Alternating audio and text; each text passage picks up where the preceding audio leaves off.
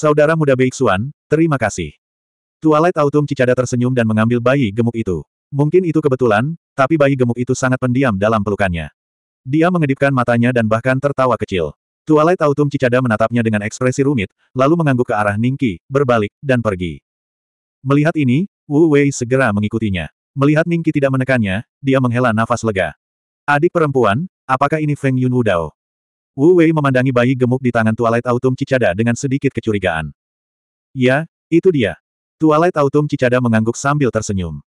Adik junior, apa rencanamu di masa depan? Kapan dia dewasa? Wu Wei bertanya dengan ekspresi rumit. Aku akan membawanya ke tempat tinggal baru. Dalam kehidupan ini, dia tidak akan ada hubungannya dengan masa lalu.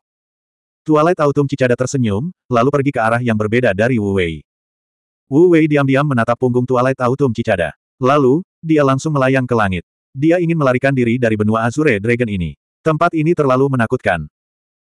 Beberapa hari telah berlalu sejak Tenasius Donkey digantung di kayu bundar. Selama hari-hari ini, Wang Zong memimpin murid-murid keluarga Wang untuk mengangkut kayu bulat besar dan memasukkannya ke depan kota leluhur keluarga Wang.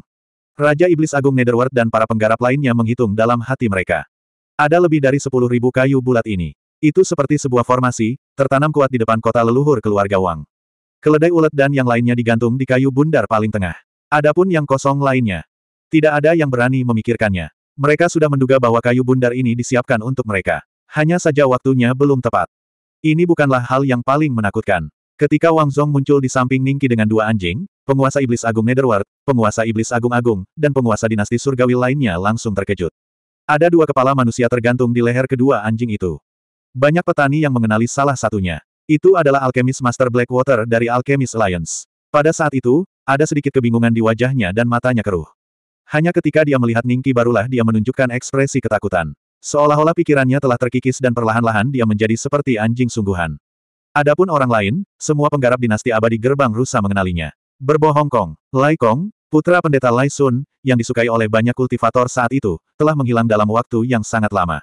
Banyak orang tidak mengetahui keberadaannya. Namun hari ini, ketika mereka melihat kepalanya tiba-tiba muncul di tubuh seekor anjing hitam, hati para pembudidaya tersebut langsung menjadi dingin. Surga yang terpilih yang bermartabat sebenarnya telah berubah menjadi keadaan seperti itu. Itu sangat mengejutkan dan menakutkan. Aku mendengar bahwa perseteruan antara Lai Kong dan kemuliaan Yuan Beisuan dimulai pada masa-masa awal. Saat itu, kekuatan kemuliaan Yuan Beisuan belum mencapai levelnya saat ini. Lai Kong tiba-tiba muncul di aula leluhur keluarga Wang dengan sebuah basis budidaya transformasi penciptaan setengah langkah dan membunuh istri kemuliaan Yuan Beisuan, Wang Sui. Saya tidak pernah menyangka bahwa hanya dalam beberapa ribu tahun, Lai Kong akan berakhir seperti ini. His, aku benar-benar tidak bisa menyinggung kemuliaan Yuan Beisuan. Lai Kong hidup seperti anjing sekarang. Lebih baik aku mati saja. Menurutmu apa yang akan terjadi pada Master Sekte Chang'er dan Yang Mulia? Apakah mereka akan berakhir seperti dua orang ini? Yuan Yang Mulia Beisuan, aku salah. Tolong jangan bunuh aku. Chang'er akhirnya tidak bisa menahan rasa takut di hatinya setelah melihat keadaan Lai Kong dan alkemis Master Blackwater. Dia memandang Ningki dengan memohon. Para pembudidaya Sekte Chang'er juga memohon belas kasihan ketika mereka melihat ini. Mereka tidak bisa menyembunyikan rasa takut di wajah mereka. Mereka merasa sangat menyesal ketika berpikir bahwa mereka akan berakhir seperti dua orang yang bukan manusia atau anjing. Jika mereka diberi kesempatan lagi, mereka tidak akan pernah datang ke benua naga hijau bahkan jika pedang ditaruh di leher mereka. Diam, Changer, apakah kamu tidak takut tuanku akan langsung membunuhmu jika kamu memohon ampun? Keledai yang ulet tiba-tiba membuka matanya dan meraung ke arah Changer. Changer dan yang lainnya segera menutup mulut dan menatap Tenasius Donkey dengan ketakutan. Ini hanya mempersulit mereka. Jika mereka tidak memohon belas kasihan, mereka akan berubah menjadi monster yang bukan manusia atau anjing atau akan dibunuh oleh Ningki secara langsung. Jika mereka memohon belas kasihan, mereka akan diancam oleh Yang Mulia. Apa yang bisa mereka lakukan? Ning Beixuan, nikmati hari-hari terakhirmu. Guru pasti sudah merasakan keberadaanmu dan akan segera datang ke sini. Saat itu, kamu pasti akan mati. Keledai yang ulet memelototi Ningki dan mengutuknya dengan kejam. Kamu masih memiliki kekuatan untuk berbicara. Bagaimana kalau Ningki tersenyum dan tiba-tiba muncul di depan Tenasius Donkey sebelum meninju dantiannya. Suara mendesing. Cahaya putih muncul dari tubuh Tenasius Donkey. Seperti angin sepoi-sepoi, ia menyapu semua orang dalam sekejap mata. Banyak pembudidaya menutup mata mereka satu demi satu agar tidak terluka oleh cahaya putih yang menyilaukan ini. Sesaat kemudian, mereka mendengar suara udara bocor dari tubuh Tenasius Donkey. Aura pada tubuh Tenasius Donkey berubah dari puncak Master Penciptaan Sembilan Kesengsaraan ke Master Penciptaan Sembilan Kesengsaraan, kemudian Master Penciptaan Delapan Kesengsaraan, dan kemudian Master Penciptaan Tujuh Kesengsaraan. Itu turun satu demi satu tingkat. Pada akhirnya, auranya bahkan tidak sebanding dengan kultivator dan Battle Realm. Kamu, kamu melumpuhkan kultivasiku. Anda melumpuhkan budidaya pahit saya selama beberapa juta tahun. Keledai yang ulet menundukkan kepalanya dengan tidak percaya dan melihat tubuhnya sendiri. Segera setelah itu, tiba-tiba ia mengangkat kepalanya dan mengeluarkan suara gemuruh yang serak. Penanaman dan kekuatan pahitnya selama bertahun-tahun yang tak terhitung jumlahnya benar-benar mengalir seperti air. Aura di tubuhnya paling mirip dengan alam Ki Refinement Konsumate. Ia masih bisa mempertahankan bentuk manusianya. Namun, dibandingkan dengan wilayah budidaya sebelumnya, wilayah ini masih jauh berbeda. Bahkan jika Tenasius Donkey memiliki pengalaman sebelumnya, ia tidak akan dapat pulih ke kondisi master penciptaan sembilan kesengsaraan biasa tanpa menghabiskan ratusan ribu tahun. Ya, saya melumpuhkan kultivasi Anda, tetapi saya meninggalkan sedikit untuk Anda. Apakah Anda ingin saya melumpuhkan semuanya untuk Anda? Ning Qi tersenyum. Keledai yang ulet menutup mulutnya dan tidak berani berbicara lagi. Bukankah ia akan menjadi keledai yang tidak berakal jika ia lumpuh? Mustahil. Ia masih bisa memulihkan kondisinya saat ini di masa depan. Jika ia kembali ke keadaan semula yang tidak punya pikiran, ia mungkin harus hidup seperti keledai selama sisa hidupnya. Kultivasi yang mulia sebenarnya lumpuh. Ini terlalu menakutkan. Namun, kamu tidak perlu memanggilnya sebagai yang mulia di masa depan. Dengan kultivasi seperti ini, kita bisa menghancurkannya sampai mati hanya dengan satu jari. Yang mulia Iblis Sembilan Nether, Yang mulia Enam Dao, Master Sekte Yin Yang, Kepala Biara Kuil Kuno Sembilan Kesetra, berbagai master penciptaan Sembilan Kesengsaraan, dan para penggarap yang mereka bawa memandang keledai ulet dengan sedikit rasa kasihan di mata mereka. Kemudian, rasa kasihan ini lenyap tanpa bekas dan digantikan dengan ketakutan yang mendalam. Yuan Venerate North Mystic, aku benar-benar salah. Tolong beri aku kesempatan lagi. Sekali ini saja, aku pasti akan berdiri di sisimu. 2072. Dewa Abadi Daoyan telah tiba. Tidak peduli seberapa banyak Chang Er memohon, Ningki tidak peduli. Pada akhirnya, Pangeran Ming ketiga menganggap Chang Er terlalu berisik, sehingga ia melumpuhkan budidaya Chang Er juga. Kali ini, semua pembudidaya sekte Chang Er menutup mulut mereka dan tidak mengucapkan sepatah kata pun. Mereka memandang Pangeran Ming ketiga dengan mata penuh ketakutan. Chang Er, sebaliknya, memasang wajah putus asa. Dia takut jika dia terus berteriak, dia akan dibunuh oleh Pangeran Ming ketiga. Kemuliaan Yuan Hanfei merasa sangat ketakutan setelah basis budidaya Tenax dan Chang Er dilumpuhkan. Dia akan terkejut dan takut jika Ningki atau Pangeran Ming ketiga melakukan gerakan aneh. Namun, dia menghela nafas lega ketika sepertinya mereka berdua tidak berniat melumpuhkan basis budidayanya untuk saat ini. Kemuliaan Yuan Hanfei memutuskan untuk berpura-pura mati untuk saat ini dan melihat seperti apa situasinya ketika Dewa Abadi Dao Yan tiba. Wang Zong sangat tanggap dan meminta murid keluarga Wang mengeluarkan banyak kursi. Begitu saja, Ningki, Pangeran Ming ketiga, mayat iblis kemuliaan Yuan, dan pembunuh kemuliaan Yuan duduk di depan puluhan juta penggarap, mengobrol dan tertawa. Para penggarap di sekitarnya hanya bisa berdiri dan tidak bergerak. Tidak lama kemudian, Sage Agung Xuanzhen dan yang lainnya juga keluar, diikuti oleh Wang Lin dan Fei Yuting. Keduanya diam-diam menilai Gu Miaoxian. Mungkinkah dia?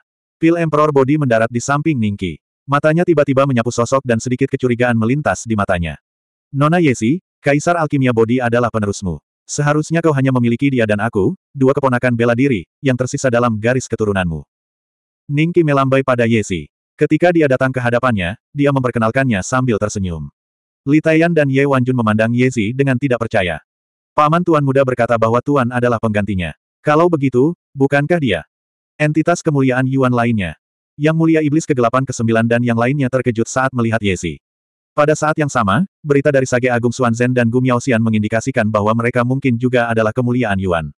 Berapa banyak kemuliaan Yuan yang dimiliki Ningqi? Kekuatan seperti itu cukup untuk menyapu benua tengah, bukan? Satu, dua, tiga. His. Enam Yang Mulia Yuan. Ini bahkan belum termasuk Yang Mulia Yuan Beixuan. Kekuatan ini pasti sangat menakutkan bahkan pada masa kejayaan daratan tengah ketika Yang Mulia Yuan Changji dan yang lainnya masih hidup. Di antara mereka, Pangeran Ming ketiga sangat kuat. Kemuliaan Yuan Hanfei tidak bisa membalasnya. Mungkin pemenang pertarungan antara kemuliaan Yuan Mistik Utara dan penguasa abadi Daoyan belum tentu penguasa abadi Daoyan. Semuanya belum mencapai tahap itu. Kita belum tahu apa hasilnya untuk saat ini. Kita hanya perlu ingat untuk tidak menyinggung kemuliaan Yuan Beixuan. Tidak buruk. Penguasa iblis dunia bawah dan yang lainnya berkomunikasi sebentar sebelum menutup mulut dan menundukkan kepala, menunggu waktu berlalu. Penjara abadi, pintu masuk. Sesosok tiba-tiba muncul di langit di atas pintu masuk penjara abadi. Ketika delapan ahli penciptaan kesengsaraan melihat ini, cahaya dingin muncul di mata mereka. Di saat yang sama, sedikit kewaspadaan muncul di hati mereka, dan mereka langsung mengepung sosok itu. Ini adalah pintu masuk penjara abadi. Siapa itu? Raja abadi. Mereka tercengang saat melihat siapa orang itu. Mengapa Dewa Abadi Daoyan tiba-tiba datang ke sini? Mereka tanpa sadar melirik ke sisi Kaisar Abadi Daoyan, dan tidak ada orang lain.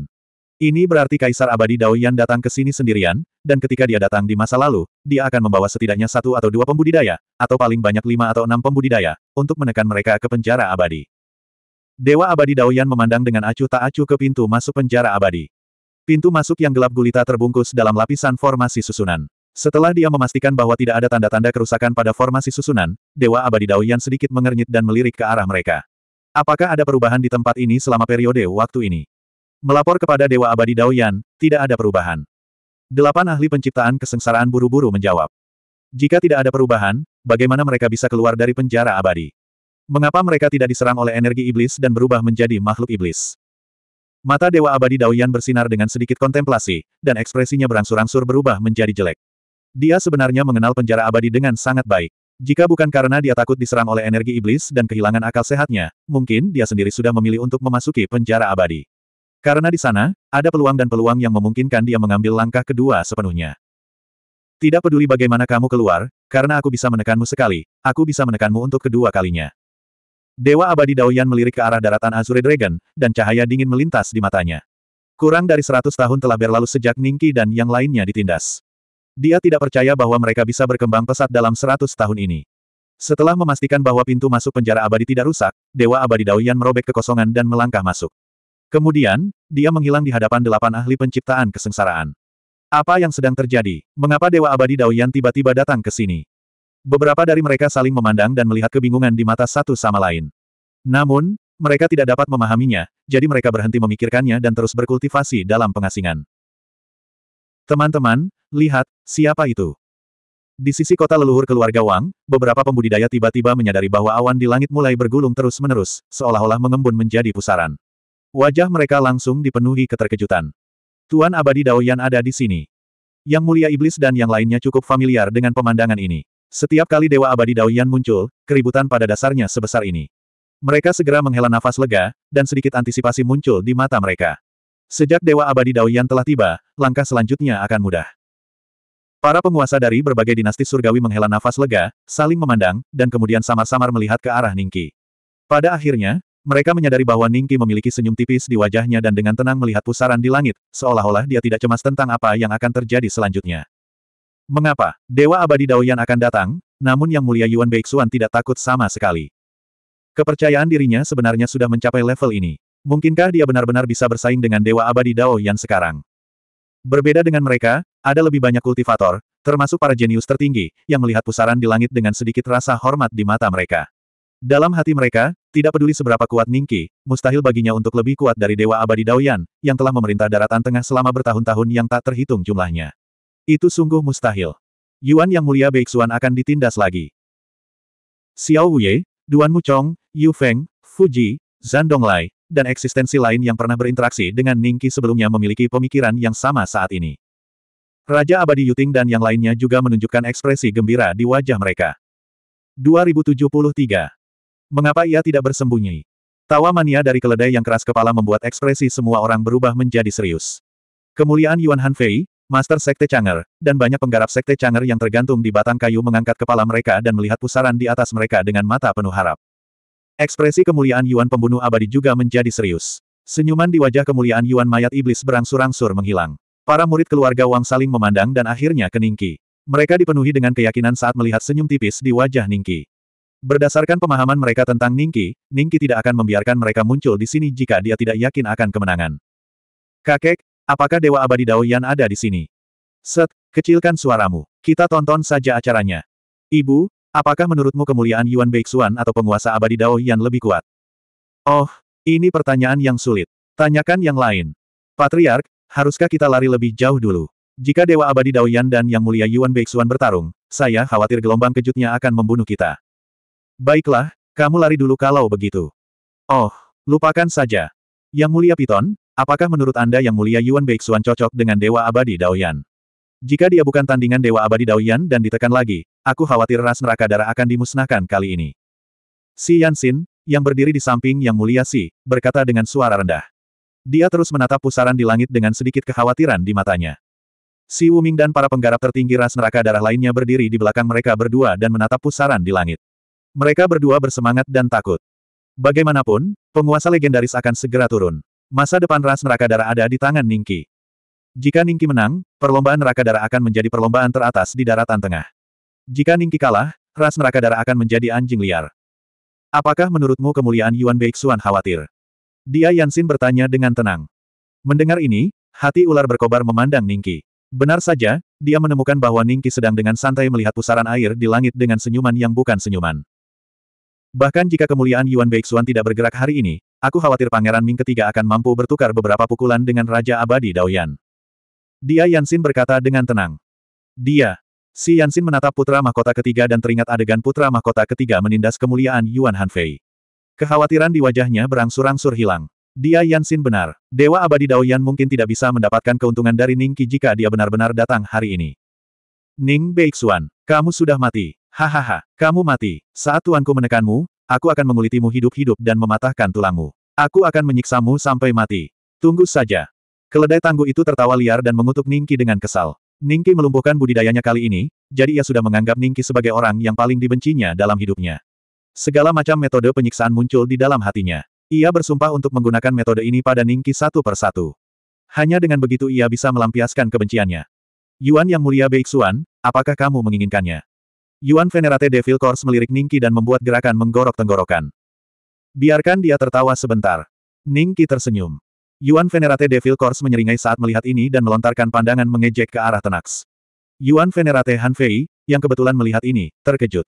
Mengapa Yuan Venerate Devil Course tertawa saat ini? Apakah dia tidak takut pada Dewa Abadi Daoyan? Sebuah cahaya menyala di samping Ningki dan sesosok tubuh muncul di depan semua orang. Keledai tangguh itu menutup mulutnya ketakutan saat melihat sosok tersebut. Benua Tengah. Bos, kamu kembali. Little Six memandang Ningki dengan sedikit keterkejutan di matanya. Ya. Ningki mengangguk sambil tersenyum. Kamu tidak diserang oleh Ki Iblis, kan? Little Six mengamati Ningki dari ujung kepala sampai ujung kaki dan memastikan bahwa pikiran Ningki sama seperti sebelumnya. Pangeran ketiga dan yang lainnya memandang Little Six dengan tatapan aneh di mata mereka. Tentu saja tidak. Ningki terkekeh. Tapi ngomong-ngomong, Ki Iblis memang bagus untuk melemahkan tubuh fisik seseorang. Little Six sudah merasakan bahwa perasaan yang diberikan Ningki padanya sekarang sangatlah menakutkan. Bahkan saat dia berada di puncaknya, aura semacam ini sepertinya tidak terlalu berpengaruh. Si kecil enam tampak tidak percaya pada wajahnya. Untuk pertama kalinya, dia merasa tidak bisa melihat Ningki sama sekali. Bos, basis kultivasimu. Berusaha sekuat tenaga, aku bahkan bisa membunuh manusia iblis yang sempurna. Ini. Si kecil enam sangat terkejut. Manusia iblis yang sempurna setara dengan manusia abadi yang sempurna. Bagaimana dia bisa mencapai level seperti itu hanya dalam beberapa dekade? Little Six tertarik dengan pusaran di langit setelah dia pulih dari keterkejutannya. Itu orang Daoyan, kan? Enam kecil bertanya. Bagaimana kamu akan menghadapinya? Ning Qi tersenyum. Mata si kecil enam berbinar. Berurusan dengannya, pukul dia sampai mati. Orang yang tidak tahu berterima kasih seperti ini, pengkhianat, dia pantas mati. Baiklah. Ning Qi mengangguk sambil tersenyum. Saat itu, Pusaran di langit semakin membesar hingga mencakup radius ratusan ribu mil. Makhluk yang tak terhitung jumlahnya memandang ke langit dengan kaget dan ngeri. Segera, sosok yang sangat besar tampak muncul di pusaran. Itu samar-samar terlihat, tetapi sembilan yang mulia iblis dunia bawah dan yang lainnya tahu bahwa Dewa Abadi Dao Yan telah tiba. Tuan, saya di sini. Keledai yang ulet meraung sekuat tenaga. Kemuliaan Yuan Hanfei dan Chang Er juga memasang ekspresi antisipasi di wajah mereka. Puluhan juta pembudidaya di sekitarnya sedang melihat sosok yang sangat besar itu. Beberapa orang yang sombong yang menyembah Dewa Abadi Daoyan sudah setengah berlutut di tanah. Para penguasa dari berbagai dinasti surgawi yang berdiri tidak jauh dari Ningki dan yang lainnya saling memandang dan menahan keinginan untuk berlutut. Hidup mereka ada di tangan Ningki. Jika mereka secara tidak sengaja membuat marah iblis ini, mereka mungkin akan mati seketika. Tidak ada gunanya bahkan jika Dewa Abadi Daoyan membalas dendam untuk mereka. Orang itu akhirnya sampai di sini. Mata Yuan Venerate Slayer dipenuhi dengan kegembiraan saat dia mengepalkan tinjunya. Dia tidak sabar. Selain Ningki dan Little Six, dia mungkin memiliki permusuhan terdalam dengan Dewa Abadi Daoyan. Namun, Ye, yang berada di samping Kaisar Alkimia Bodi, juga melihat ke arah Dewa Abadi Daoyan dengan sedikit kegembiraan dan kenangan. Sejak zaman kuno, sektenya memiliki aturan sekte untuk membunuh Dewa Abadi Daoyan selama beberapa generasi. Hanya ketika Dewa Abadi Daoyan meninggal barulah aturan sekte ini dibatalkan. Saat itu, dia juga ditekan oleh Dewa Abadi Daoyan karena aturan sekte ini. Hari ini, dia yakin Ningki akan menyelesaikan aturan sekte ini untuknya. Mulai sekarang, dia tidak lagi memiliki beban apa pun dan dapat kembali ke lokasi asli sekte tersebut untuk menyembah leluhurnya. Segera, Dewa Abadi Daoyan keluar dari pusaran seperti dewa kuno yang turun ke dunia fana. Aura di tubuhnya sangat menakutkan, dan dia memandang rendah dunia dengan rahmat tertinggi. 2074. Apakah hanya itu yang kamu punya? Suara Kaisar Abadi Daoyan sangat kuat dan perkasa, meledak di telinga semua orang. Sikap seperti itu, penampilan seperti itu, benar-benar memikat banyak orang jenius, dan mereka memandang Kaisar Abadi Daoyan sebagai idola terkuat di hati mereka. Misalnya, Xiao Wei dan yang lainnya, pada saat ini, Ketika mereka melihat Kaisar Abadi Daoyan, mata mereka dipenuhi dengan pemujaan dan rasa hormat. Buat perubahan Anda, cepat tekan anak ini. Banyak kultivator bergumam pada diri mereka sendiri sebagai antisipasi. Daoyan, jangan sombong hari ini. Kemuliaan Yuan Mistik Utara bisa menghancurkanmu dengan satu jari. Kamu ingin menekan kami lagi. Bermimpilah. Mayat iblis kemuliaan Yuan tidak bisa menahan diri untuk tidak berdiri dan mengaum. Pembunuh abadi kemuliaan Yuan menyeringai sambil menatap Dewa Abadi Daoyan. Dewa abadi Daoyan memandang mereka berdua dan tersenyum. Jadi kalian keluar juga. Pangeran ketiga memandang Dewa abadi Daoyan dengan ekspresi aneh. Aura Dewa abadi Daoyan memang mengejutkannya, namun dia kecewa saat melihat Dewa abadi Daoyan secara langsung. Beraninya manusia iblis tahap awal bertindak begitu arogan. Dia benar-benar bosan. Dia seharusnya menghancurkan keberadaan seperti itu sampai mati. Dia sebenarnya menunggunya di sini selama berhari-hari. Pangeran ketiga memandang Ningki dan mengutuk dalam hatinya. Namun, dia tidak berani mengatakan ini di depan Ningki. Kalau tidak, Ningki pasti akan melayaninya. Hahaha, apakah kamu terkejut? Mayat iblis kemuliaan Yuan tertawa. Terkejut, mungkin. Dewa abadi Dao Yan tersenyum. Guru, mereka melumpuhkan kultivasi saya. Lumpuhkan kultivasi saya. Keledai yang ulet itu meraung sekuat tenaga. Matanya benar-benar merah. Dewa abadi Dao Yan memandangi keledai tangguh itu dan mengetuknya dengan lembut. Seberkas cahaya langsung masuk ke tubuh keledai tangguh itu. Semua orang menyadari bahwa aura keledai tangguh itu terus meningkat dan segera mencapai alam transendensi. Chang Er ingin mengaum beberapa kali seperti keledai tangguh, tapi dia tidak yakin apakah Dewa Abadi Dao Yan akan melakukan hal yang sama padanya. Dia bahkan lebih takut dia akan dibunuh oleh Ningki. Setelah mempertimbangkan pro dan kontra, dia memilih bungkam. Setelah Kaisar Abadi Dao Yan selesai melakukan semua ini, pandangannya beralih ke Ningki. Aku bisa menekanmu di masa lalu, dan aku masih bisa menekanmu hari ini. Apa sebenarnya alasan kamu tidak menemukan tempat untuk bersembunyi dan malah menungguku di sini? Apakah Anda benar-benar ingin tahu? Ning Qi tersenyum. Ya, aku sangat ingin tahu. Kaisar Abadi Dao Yan tersenyum. Ning Qi tersenyum sambil merobek langit. Selama proses ini, tubuhnya tumbuh tanpa henti, dan pada akhirnya, tingginya mencapai 300 meter saat dia memandang Kaisar Langit Dao Yan dari jauh. Ketika semua orang melihat pemandangan ini, mereka langsung menahan napas dan menjadi sangat gugup karena pertempuran besar akan segera terjadi. Ayo, tekan aku dan aku akan memberitahumu. Ning Qi tersenyum. Kaisar abadi Daoyan melirik Little Six, dan jejak kecurigaan muncul di kedalaman matanya. Sikap Ning Qi saat ini benar-benar berbeda dari apa yang dia bayangkan. Mungkinkah penguasa naga telah memberinya kartu as, itulah sebabnya dia begitu percaya diri. Namun, Kaisar abadi Daoyan memikirkannya lagi. Dengan kekuatannya, tidak peduli kartu truf apa yang dimiliki pihak lain, mustahil bagi pihak lain untuk mengalahkannya dalam pertempuran hari ini. Dengan pemikiran ini, Kaisar Abadi Daoyan tersenyum dan dengan lembut melambaikan tangannya. Aura yang menyesakkan langsung melonjak keluar. Ketika puluhan juta pembudidaya di bawah merasakan aura ini, mereka yang basis budidayanya lebih rendah langsung mengeluarkan seteguk darah, sedangkan mereka yang basis budidayanya lebih tinggi terguncang dan merasa pusing. Di saat yang sama, cahaya putih dengan aura destruktif mendarat di Ningki seperti kilat. Lelucon apa? Kamu ingin menyakitinya dengan serangan seperti ini? Pangeran ketiga Ming menggelengkan kepalanya sambil tersenyum dan tidak bisa menahan diri untuk tidak mengejek. Pembunuh abadi kemuliaan Yuan dan mayat iblis kemuliaan Yuan juga tersenyum saat mendengar ini. Kebenaran misterius Sage Agung, Gu Miaoxian, dan Ye Zifeng semuanya memiliki senyum percaya diri di wajah mereka saat mereka memandang Kaisar Abadi Dao Yan dengan sedikit ejekan. Namun, yang lainnya berbeda.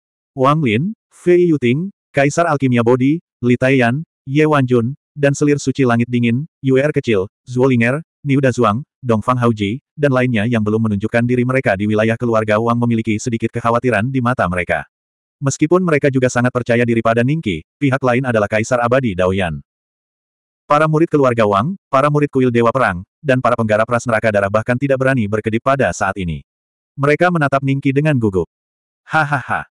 Tenasius Donkei tertawa terbahak-bahak saat melihat adegan ini. Bang! Cahaya putih mendarat di tubuh Ningki dan menciptakan asap hijau. Lalu, tidak ada yang lain. Selain lubang di pakaian Ningki, kulit di bawah pakaiannya tidak terluka dan tidak ada luka. Eh. Tawa Tenasius Donkey berhenti tiba-tiba saat ia menatap pemandangan ini dengan mulut ternganga. Setelah tiga napas penuh, puluhan juta pembudidaya di tempat kejadian akhirnya bereaksi. Mereka menarik napas dalam-dalam di dalam hati dan mata mereka dipenuhi rasa tidak percaya. Penguasa Netherworld dan yang lainnya bahkan lebih terkejut lagi. Mereka mengetahui kehebatan pertempuran Kaisar Langit Daoyan lebih baik daripada ahli penciptaan biasa. Serangan tadi, tidak peduli siapa di antara mereka yang terkena, mereka pasti tidak akan memiliki kesempatan untuk melawan dan akan mati di tempat. Namun, serangan seperti itu hanya merobek pakaian Ningki dan tidak membahayakan dirinya. Mungkinkah serangan ini merupakan cedera internal? Semua orang menebak dalam hati mereka. Selain penjelasan ini, mereka tidak dapat memikirkan penjelasan lain yang dapat meyakinkan mereka. Tapi segera setelah itu, Ningki menepuk dadanya dan tersenyum pada Kaisar Abadi Daoyan. Hanya itu yang bisa kamu lakukan. Begitu dia mengatakan ini, wajah penguasa iblis dunia bawah dan yang lainnya langsung menjadi pucat pasi. Bagaimana Ningki terlihat menderita luka dalam. Dia benar-benar tidak terluka. Kaisar Abadi Daoyan menatap Ningki dengan bingung. Kemudian, dia mengulurkan tangannya dan cahaya putih keluar dari tubuhnya. Kali ini, aura cahaya putih bahkan lebih menakutkan dari sebelumnya. Itu mendarat di tempat yang sama di dada Ningki dan bahkan tidak merusak kulitnya. Hingga saat ini, Kaisar Abadi Daoyan, yang selalu tampak tenang dan percaya diri, akhirnya menunjukkan ekspresi terkejut di wajahnya. Di sisi lain batang kayu itu, kemuliaan Yuan Hanfei dan Chang Er menyaksikan pemandangan ini dengan linglung. Hati mereka seakan tenggelam ke dalam jurang yang dalam, dan wajah mereka dipenuhi keputusasaan. Bei, kemuliaan Yuan Bei Xuan, benar-benar bertahan dari dua serangan Kaisar Abadi Daoyan. Apakah mataku sedang mempermainkanku? Apakah ini semua hanya tabir asap? Jika kau melihat sesuatu, maka mataku memang sedang melihat sesuatu karena apa yang kulihat sama persis dengan apa yang kau lihat. Kemuliaan Yuan Bei Xuan memang bertahan dari dua serangan Kaisar Abadi Daoyan, dan sepertinya dia melakukannya dengan sangat mudah. Petik 2.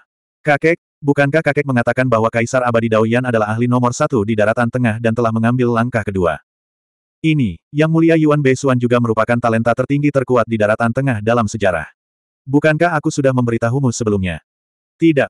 Kalau begitu aku akan memberitahumu sekarang. Baiklah, berhenti bicara dan lihat. Kamu, sudahkah kamu mengambil langkah itu? 2075.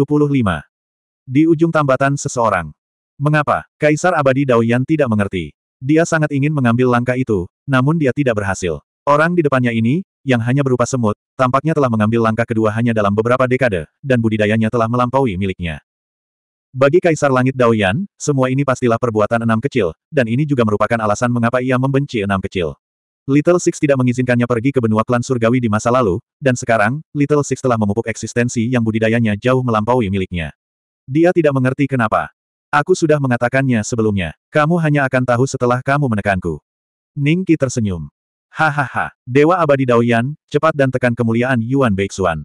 Bukankah kamu baru saja mengatakan bahwa kamu dapat menekan kami lagi jika kamu dapat menekan kami sekali? Mayat iblis kemuliaan Yuan tertawa terbahak-bahak.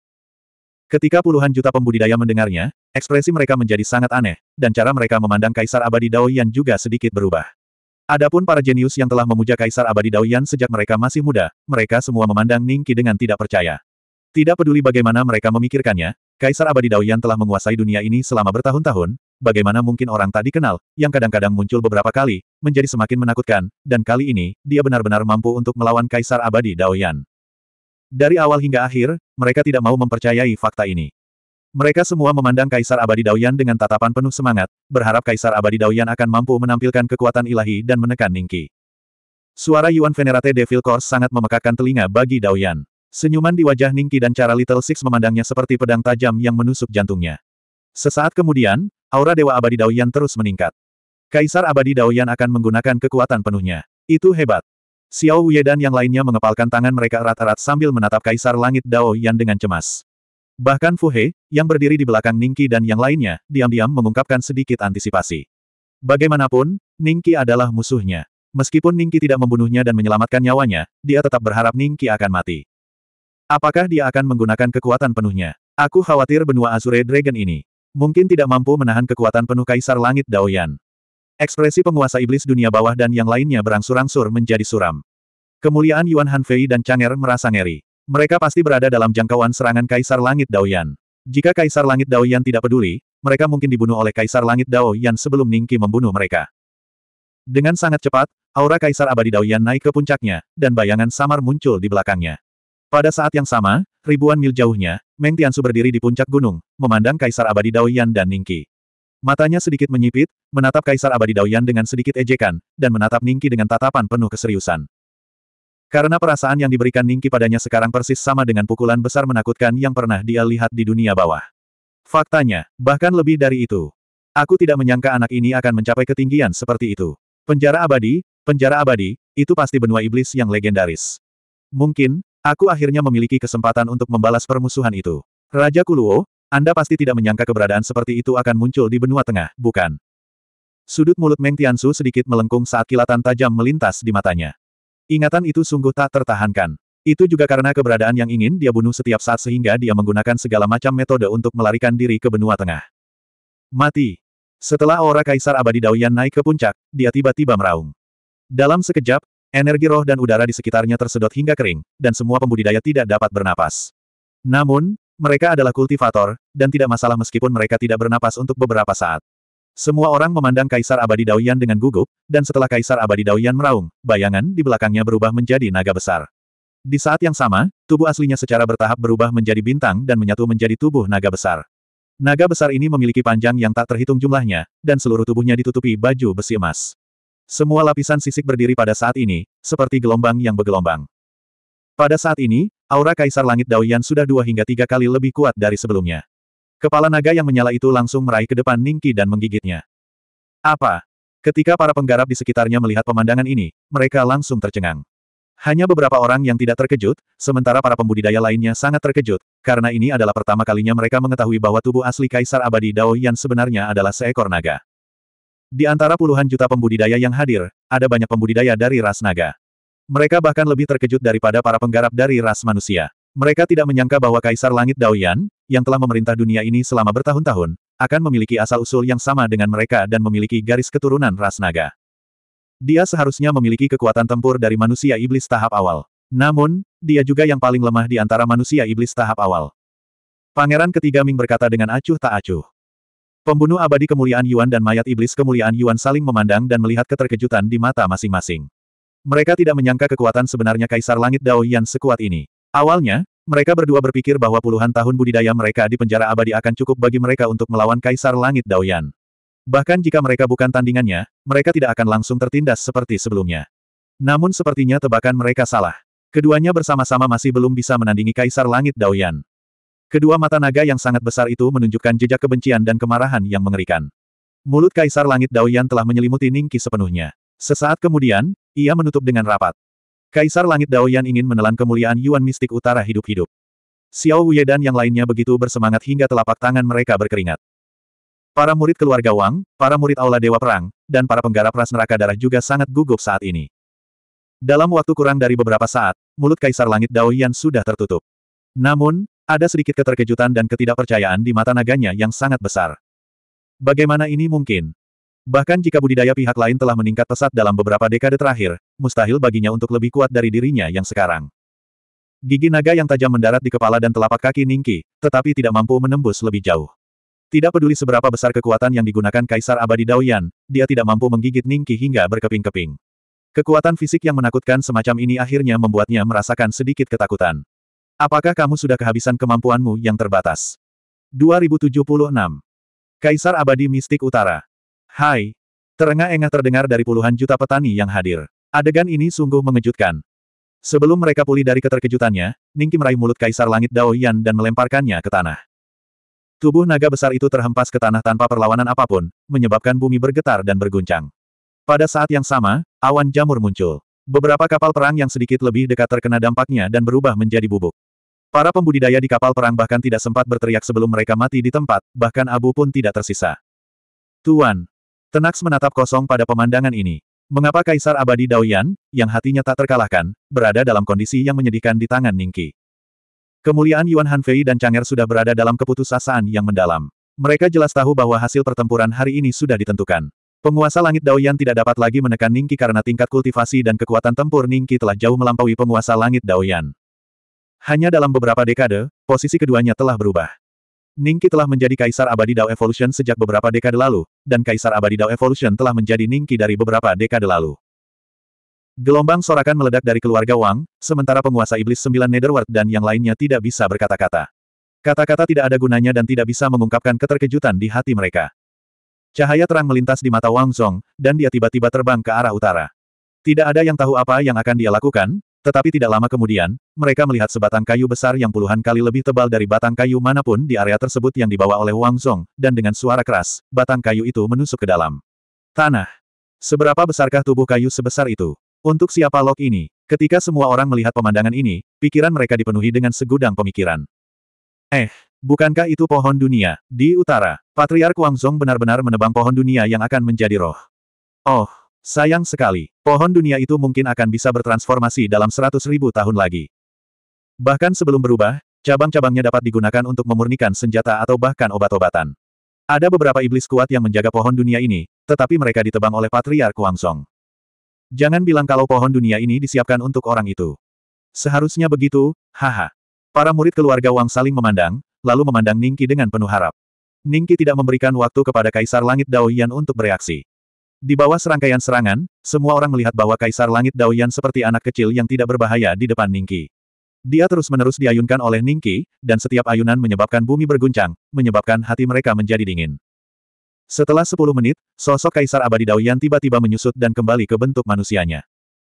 Ningki perlahan berjalan di depan Kaisar Abadi Daoyan, menatapnya, dan berkata dengan acuh tak acuh, apakah kamu masih memiliki kekuatan untuk berdiri? Kaisar Abadi Daoyan, yang agung beberapa saat yang lalu, bahkan tidak bisa membuka matanya saat ini.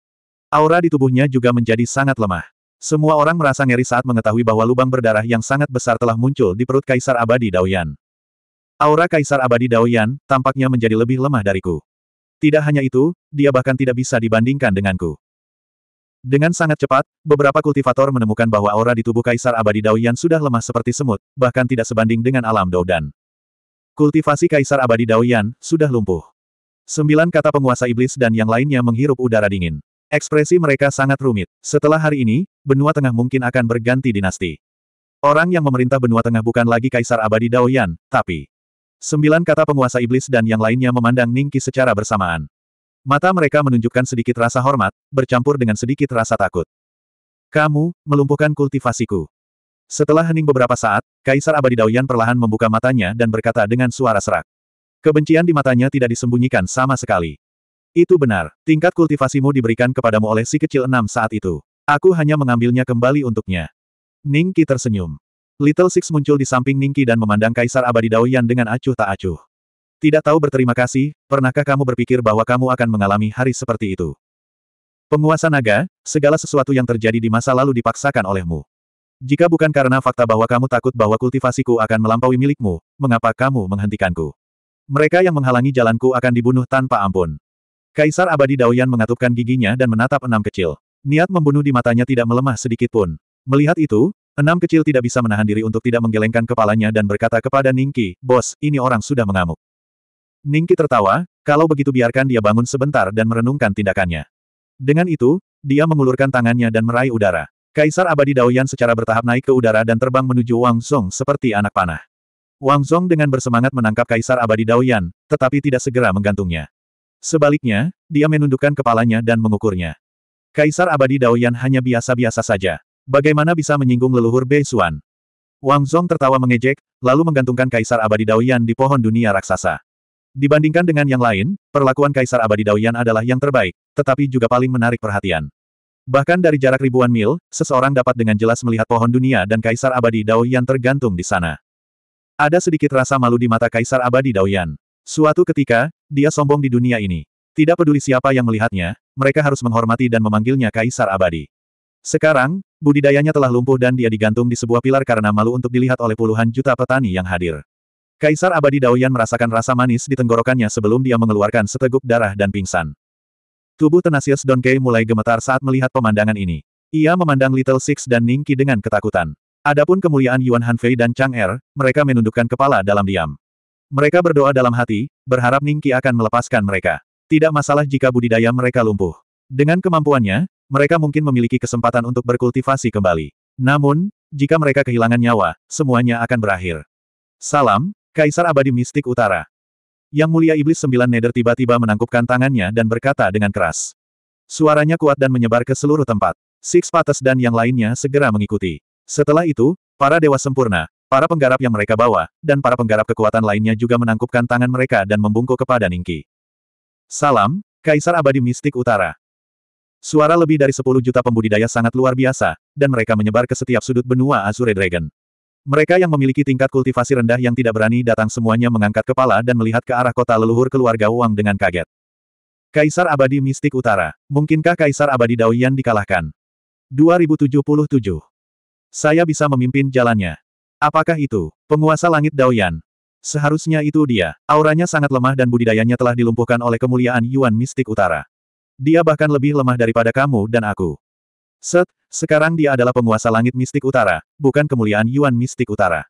Jika murid-murid keluarga Wang mendengar apa yang kamu katakan, mereka mungkin akan menggantungmu di sana juga. Itu benar, itu benar.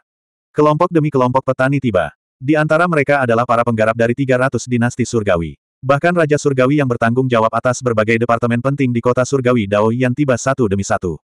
Semua pembudidaya berdiri di luar kota leluhur keluarga Wang dan memandang Dewa Surgawi Dao Yan dengan ekspresi rumit.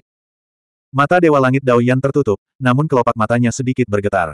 Semua orang tahu bahwa dia masih sadar. Tanah keluarga Wang.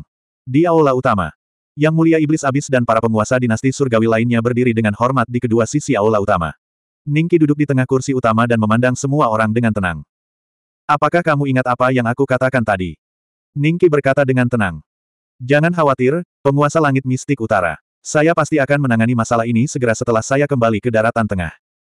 Kata yang mulia iblis jurang dengan hormat. Baiklah, kuharap kamu tidak mengecewakanku. Ningki tersenyum. Yang mulia iblis abis dan yang lainnya tampak sangat serius. Lelucon yang luar biasa. Bagaimana mereka masih berani untuk tidak taat pada tahap ini? Kemudian, di bawah kepemimpinan Yang Mulia Iblis Jurang dan yang lainnya, penguasa dinasti surgawi meninggalkan aula utama dan kota leluhur keluarga Wang dan menuju ke daratan tengah. Kali ini, mereka semua memiliki misi yang sangat penting, yaitu melenyapkan bawahan langsung Dewa Surgawi Daoyan. Pada saat yang sama, mereka harus mengumumkan bahwa mulai sekarang, tidak akan ada lagi dewa tercerahkan di daratan tengah. Akan ada ibu kota surgawi mistik utara, dan wilayah ibu kota surgawi mistik utara adalah seluruh daratan naga hijau. Tidak lama setelah Yang Mulia Iblis Abis dan yang lainnya pergi, sesosok tubuh perlahan masuk ke aula utama. Ningki memandang sosok itu dengan senyum tipis dan berkata, Dao dunia bawah abadi yang sempurna, sudah lama tidak bertemu.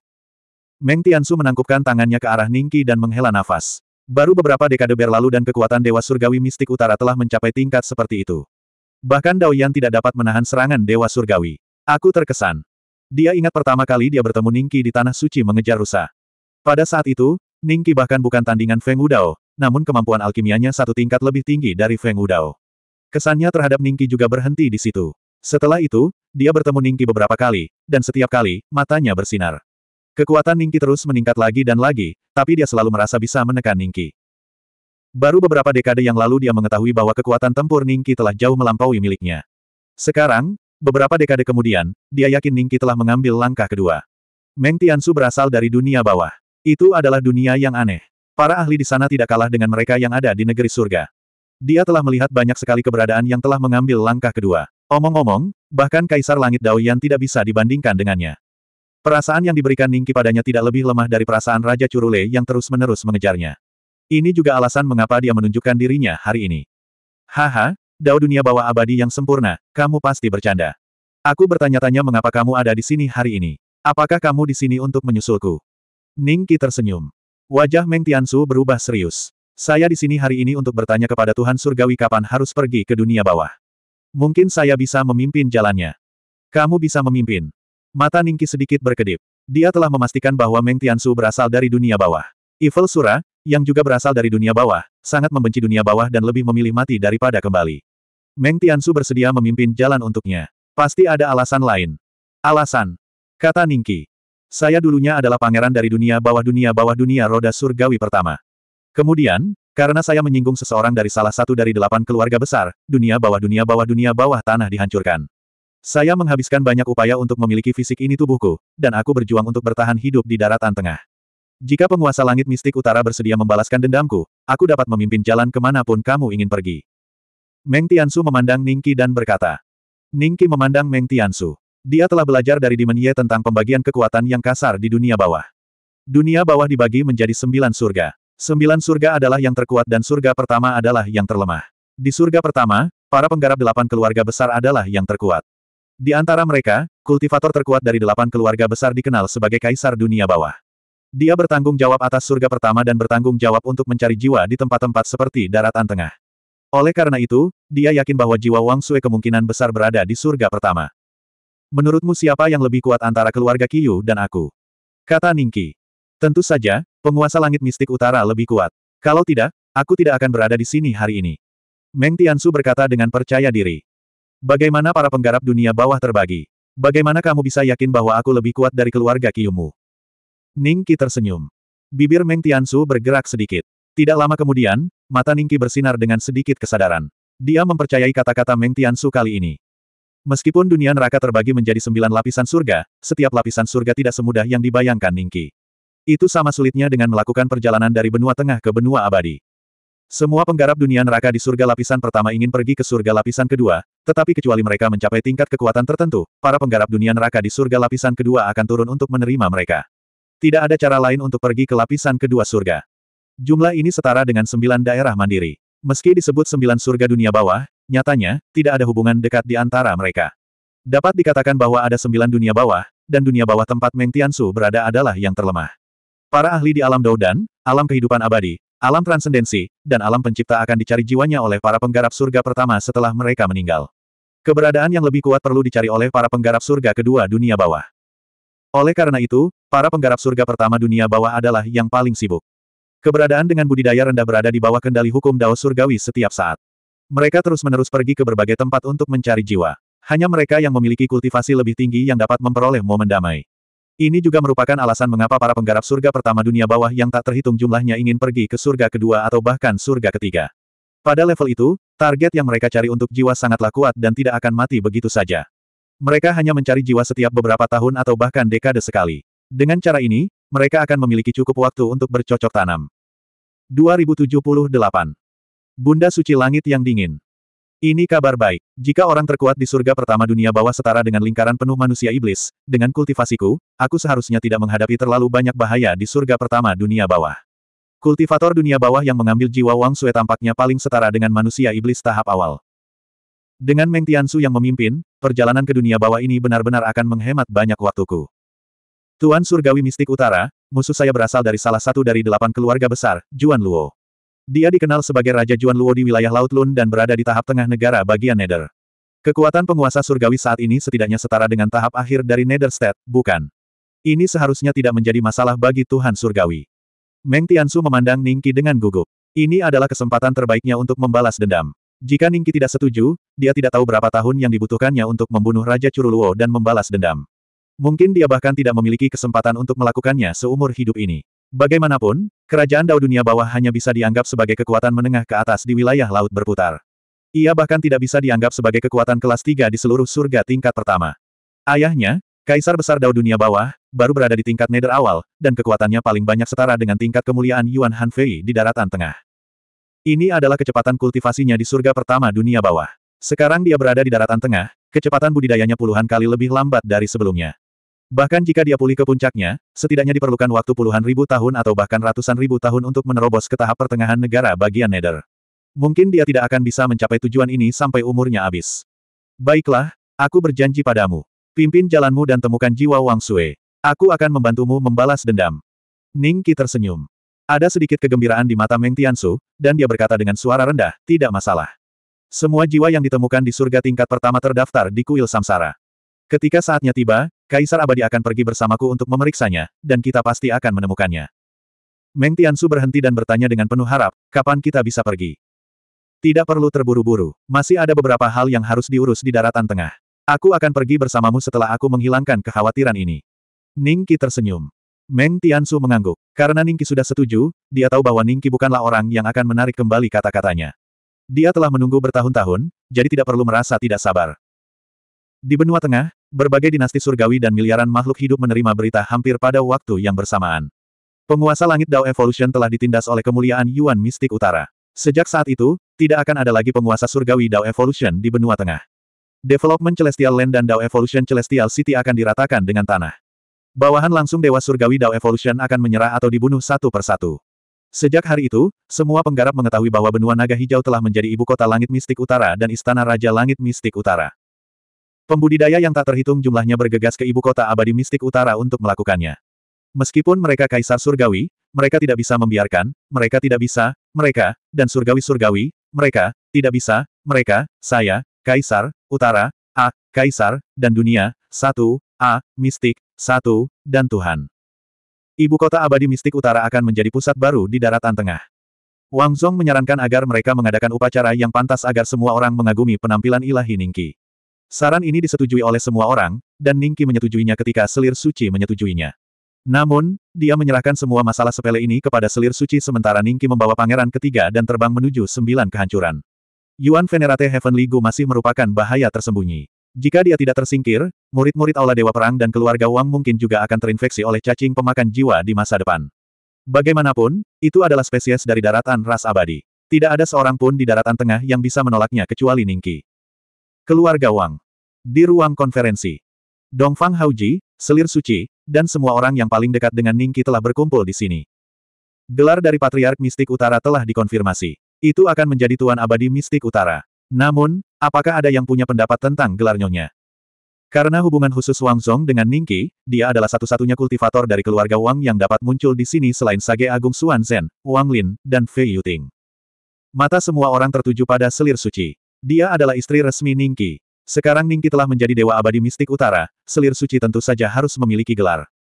Yuer kecil dan Zuo Linger sangat bersemangat. Mereka langsung menyarankan beberapa judul dan memandang penonton dengan penuh harap. Setiap orang memiliki ekspresi yang aneh. Judul-judul ini terlalu kekanak-kanakan. Kedua wanita itu bertukar pandang dan mengerutkan bibir, mengira pria ini tidak punya selera.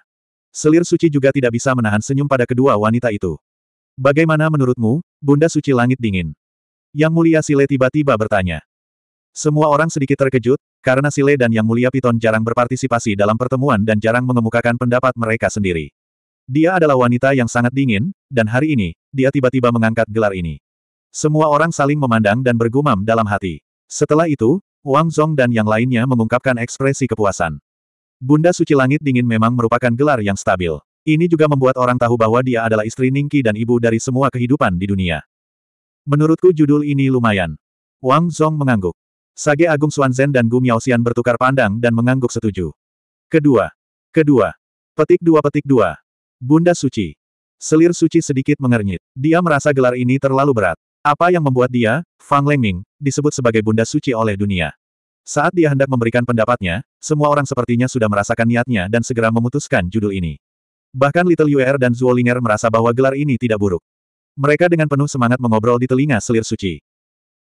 Saat wilayah bekas klan Wang sedang bersiap-siap untuk upacara kenaikan Ningki, Ningki telah tiba di sembilan wilayah desolasi bersama Pangeran Ming ketiga. Dalam perjalanan, tidak peduli bahaya apa yang dia hadapi, dia langsung menerobosnya dengan paksa. Reruntuhan terlarang yang tak terhitung jumlahnya yang tidak berani dimasuki orang dihancurkan oleh tinju Ningki dan menghilang. Ketika Ningki tiba di sembilan wilayah desolasi, jalan lurus tertinggal di belakangnya. Tidak ada teknik terlarang yang bisa membunuh orang di jalur ini. Di masa depan, para penggarap di daratan tengah tidak perlu lagi mengambil jalan memutar untuk mencapai sembilan daerah kesunyian. Pangeran ketiga Ming berdiri di belakang Ningki dengan ekspresi bosan. Dia merasa sedikit sedih ketika memikirkan berapa tahun lagi dia harus tinggal di tempat ini. Tempat ini membutuhkan ki iblis. Jika aku tinggal di sini terlalu lama, aku khawatir kultivasiku akan menurun. Sial, apa yang orang ini coba lakukan? 2079. Sembilan kehancuran lagi. Ningki tersenyum dan mengabaikan tipuan kecil Pangeran Ming ketiga. Sebaliknya, dia menunjuk ke beberapa kultivator yang terbang melintasi langit dan bertanya dengan tenang, apakah menurutmu ada yang salah dengan orang-orang itu? Pangeran Ming ketiga terkejut. Dia melihat lebih dekat dan berkata, sepertinya ada cacing di tubuh mereka. Benar, silakan, bunuh mereka semua jika kamu melihatnya. Jangan biarkan satu pun hidup. Ning Qi terkekeh. Wajah Pangeran Ming ketiga menjadi gelap. Namun, dia segera mengangguk ketika melihat ancaman di mata Ning Qi dan mengejar orang-orang itu. Sembilan desolasi itu terlalu besar. Ning Qi mungkin tidak bisa membunuh semua pembudidaya yang terinfeksi oleh cacing pemakan jiwa sendirian. Lembah Rubah Langit. Hu Chengxi, kamu sudah melarikan diri selama bertahun-tahun, namun kamu tetap saja akan jatuh ke tanganku. Apakah menurut Anda ada orang yang bisa menyelamatkan Anda sekarang? Katakan saja apa yang ingin saya ketahui. Jika tidak, Anda akan tersiksa oleh api langit siang dan malam. Sekelompok besar rubah surga mengepung pusat lembah rubah surga. Ada pilar besi di sana, dan Hu Cheng Zi dirantai di sana. Di depannya, Hu Yinyin memiliki senyuman dingin di wajahnya, dan matanya dipenuhi dengan ejekan. Hu Yinyin adalah adik perempuan peri rubah. Sejak peri rubah dibunuh oleh Ningki, dia mengambil alih posisi peri rubah. Hu Chengzi telah lama ditangkap, tetapi dia memiliki sesuatu yang sangat penting bagi ras rubah langit. Hu Yinyin telah diinstruksikan oleh Yang Mulia Rubah Siwei untuk mencari tahu keberadaan barang ini. Sebelumnya, Hu Chengzi tidak bisa mati.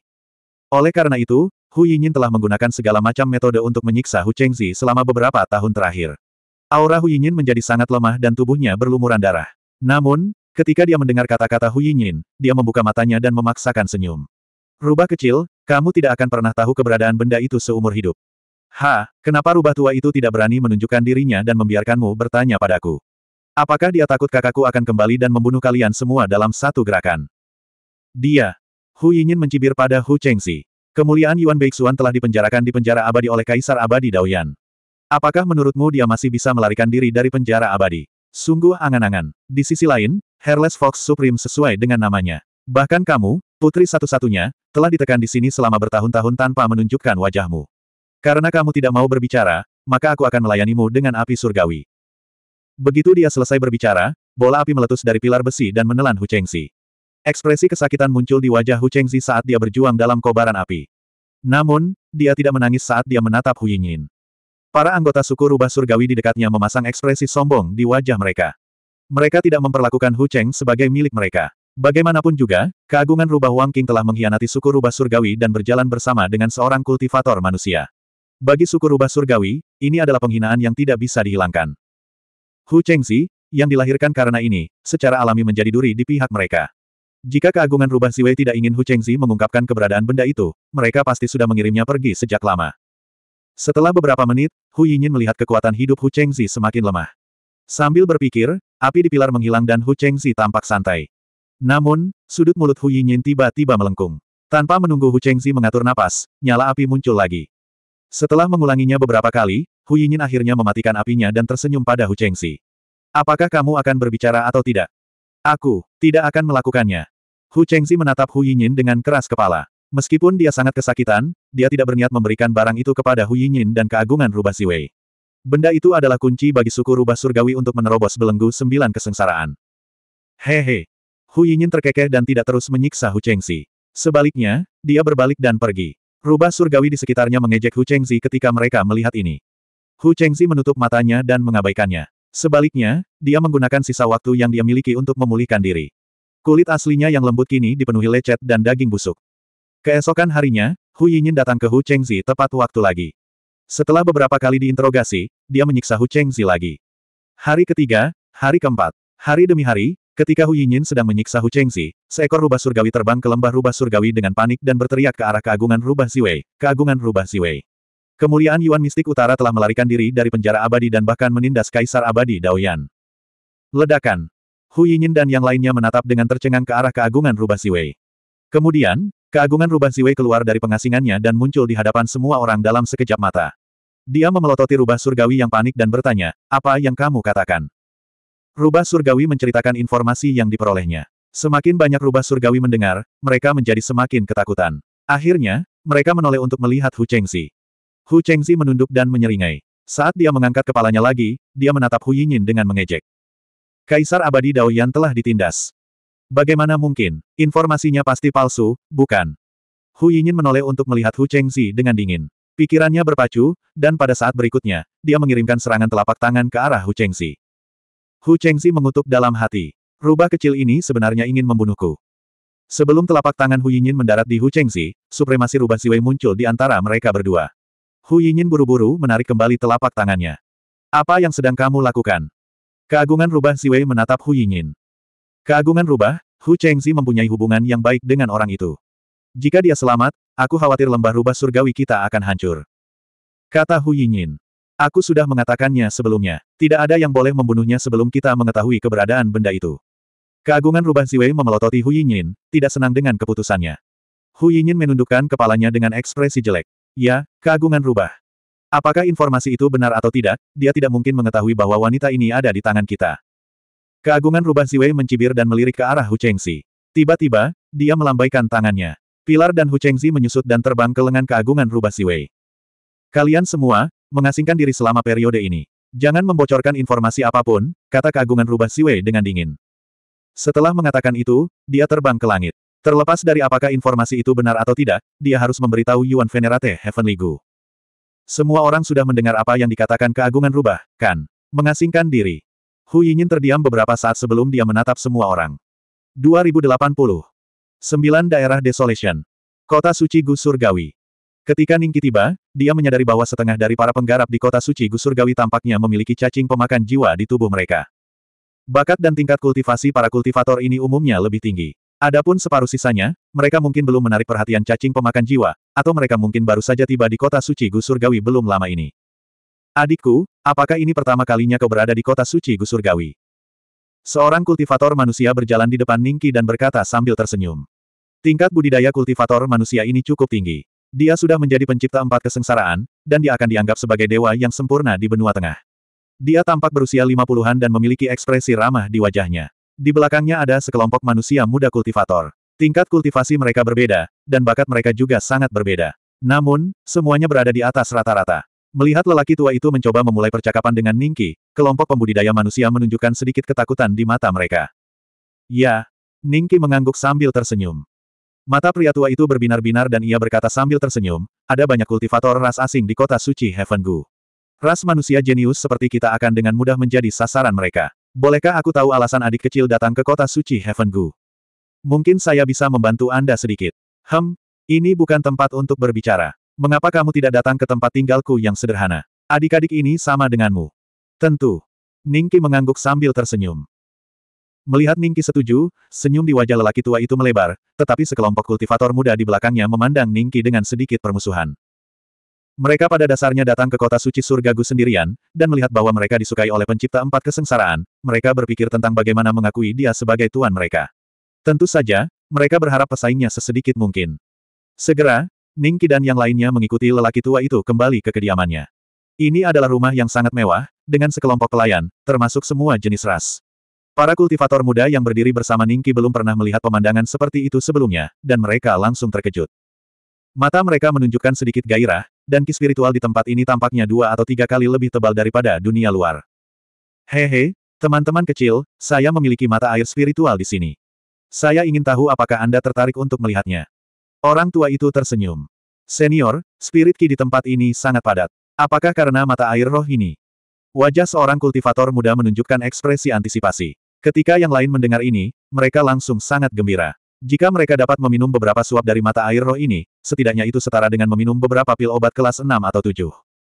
Benar, mata air roh ini ada di halaman belakang. Orang tua ini akan mengajak kalian semua untuk melihatnya. Orang tua itu tersenyum dan mengangguk.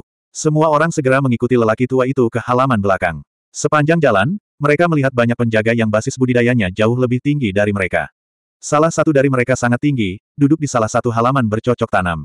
Ketika mereka lewat, dia akan membuka matanya dan memandang mereka dengan merendahkan.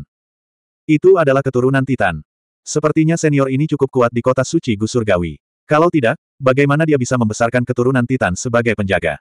Semua orang saling memandang dengan pemikiran berbeda di benak mereka. Jika mereka bisa menjadi bawahan orang tua ini, masa depan mereka pasti cerah. Dengan pemikiran ini, banyak kultivator muda yang terus menyanjung lelaki tua itu. Orang tua itu tersenyum dan tampak sangat ramah kepada semua orang. Setelah melewati beberapa koridor lagi, sosok lelaki tua itu tiba-tiba berhenti. Semua orang memandang ke depan dan melihat ada mata air spiritual selebar sepuluh kaki. Mata air spiritual terus-menerus memancar keluar, dan kabut mengepul. Itu seperti surga di bumi. Selain itu, spirit ki di sini bahkan lebih padat, sehingga semua orang secara tidak sadar tenggelam di dalamnya. Ningki memandang mata air spiritual dan sedikit tersenyum. Rasa ilahinya dengan mudah menembus segel di permukaan mata air spiritual.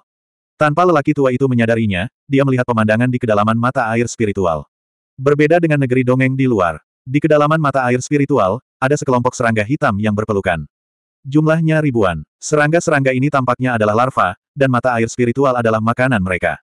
Di puncak kawanan, ada lebih dari selusin serangga pemakan jiwa yang beberapa kali lebih besar dari serangga lainnya. Mereka seukuran kepalan tangan, dan mereka berdengung sebagai antisipasi, seolah menunggu pesanan. Teman-teman muda, kita bertemu sudah takdir. Orang tua ini tidak punya apa-apa untuk menghiburmu, jadi aku akan menawarkanmu beberapa suap mata air spiritual. Orang tua itu tiba-tiba tersenyum dan bertepuk tangan. Kemudian, dua pelayan wanita berjalan mendekat dengan piring di tangan mereka. Ada cangkir di piring, dan jumlahnya persis sama dengan jumlah orang di kelompok Ningki. Pelayan perempuan itu membungkuk dan mengambil mata air spiritual dari mata air spiritual. Pada saat ini, Ningki memperhatikan bahwa serangga pemakan jiwa yang tampaknya telah tumbuh melompat dan bergabung ke dalam mata air spiritual, menjadi transparan. Ketika pelayannya menuangkan mata air spiritual ke dalam cangkir, serangga pemakan jiwa sedang duduk diam di dalam. Namun, tampaknya selain Ningki, para kultivator muda lainnya tidak memperhatikan hal ini sama sekali. Sebaliknya, mereka dikejutkan oleh kemurahan hati lelaki tua itu. Senior, kamu terlalu baik. Mata air spiritual ini sangat berharga, bagaimana kita bisa menikmatinya? Seorang kultivator muda berulang kali menolak. Melihat ini, para penggarap lainnya memelototinya dengan ketidakpuasan. Salah satu dari mereka bahkan mau tidak mau mengambil cangkir dan hendak meminumnya. Pada saat ini, angin kencang menyapu dan langsung memecahkan cangkirnya. Mata air spiritual segera tumpah ke tanah, dan saat serangga pemakan jiwa transparan menyentuh tanah, mereka langsung menyatu ke dalam tanah dan menghilang tanpa jejak. Kultivator itu tertegun sejenak dan menatap tajam ke arah Ningki. Matanya seperti gunung berapi yang akan meletus, dipenuhi amarah. Wus apa pun orang-orang lainnya juga memandang Ningki dengan sedikit kemarahan di mata mereka. Bagaimana orang ini bisa bersikap kasar? Dia benar-benar berani memecahkan cangkir berisi mata air spiritual. Mata air spiritual yang begitu berharga, bukankah langsung terbuang percuma? Apa yang sedang kamu lakukan? Kultivator itu sangat marah. Jika bukan karena kehadiran orang tua itu, dia pasti sudah menyerang Ningki. Sebuah cahaya tajam muncul di mata lelaki tua itu. Dia menatap Ningki dan menunjuk kedua pelayan wanita yang hendak menyerang. Dia ingin tahu mengapa Ningki memecahkan mata air spiritual. Jika kamu meminum segelas air ini, kamu tidak akan menjadi dirimu lagi. Mengapa kamu tidak berterima kasih padaku? Ningki tersenyum. Omong kosong apa yang kamu bicarakan? Mengapa saya tidak mengerti? Kamu gila. Ini adalah mata air spiritual. Dengan energi spiritual seperti itu, meminum secangkir setara dengan meminum beberapa pil obat peringkat 6 atau 7. Anda benar-benar merusak mata air spiritual saya, Anda. Semangat kultivator itu rendah. Dia tidak mengerti apa yang dikatakan Ningki.